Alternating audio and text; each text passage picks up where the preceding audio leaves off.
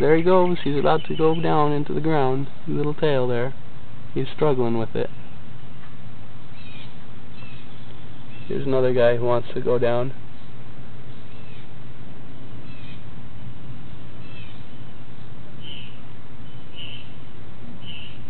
Here we go. We'll See the end of his little tail.